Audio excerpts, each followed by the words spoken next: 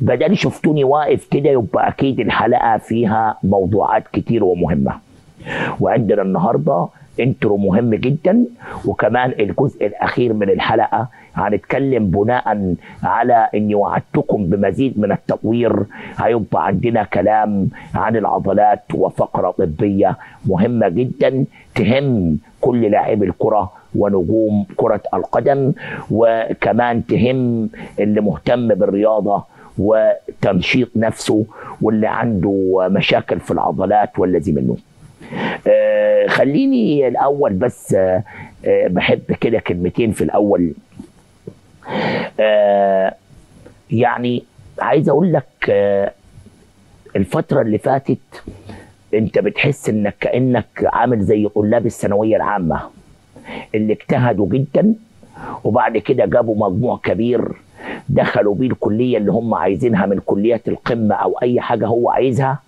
ولكن بدأت الناس تشعر باجتهاد هذا الطالب عندما ظهر وبات متفوقا من خلال المجموع بتاعه وتفوقه في الجامعة.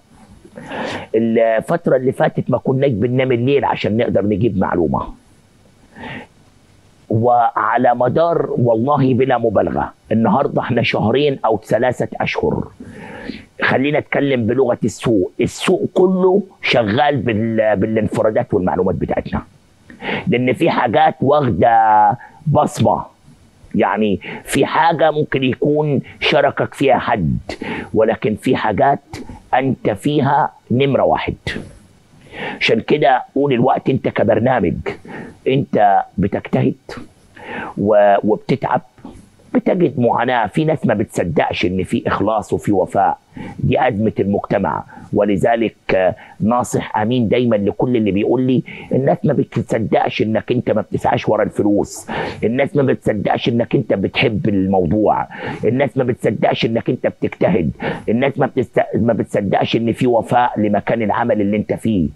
أقول أرد وأقول عامل الناس بأخلاقك ولا تجبرهم على أن تعاملهم بأخلاقهم. حتى النهارده كنت بتكلم مع صديق ف يعني متردد شيئا ما في مكان مرموق جدا في أحد الشركات الكبرى. صديق من أصدقاء عمري يعني هم اثنين أو ثلاثة اللي أنا معاهم يعني. ف بيقول لي والمكان ده يعني وشه حلو عليا وصاحب جميل عليا وفضل عليا ولكن جاية لي أماكن تانية بفلوس أكتر وجايه لي حاجات ال ال ال ال البرستيج بتاعها أكبر في مجاله production وحاجات زي كده. وعروض بره وعروض جوه. قلت له دايما وأنت بتاخد القرار لازم تحط في ميزان قرارك من أنعم الله به عليك بنعمة أنت فيها ومن كان سببا في هذه النعمة. لأن دايما وابدا لازم تعمل في حسابك ده. ما تحسبهاش كلها فلوس.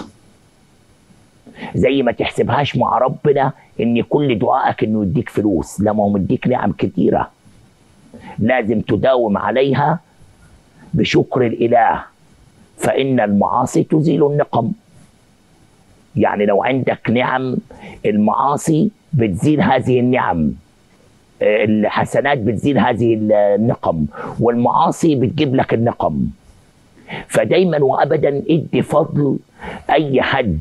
ربنا جعله سبب خصوصا من تعثرت قدماك فوجدته في وقت العثره أو وقت الأزمة.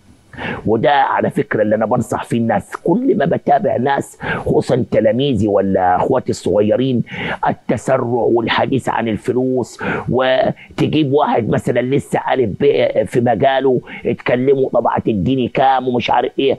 ونظام تلبيس طوائي الواحد يشتغل في 400 مكان طب هتعمل إمتى لاسمك حاجة. الفلوس مش كل حاجة. ممكن تمسك فلوس لكن ما تعملش اسم. ولكن لما تعمل اسم اسمك وحده هيجيب فلوس. وتقعد تتشرب يمينا ويسارا. وتعبنا واجتهدنا.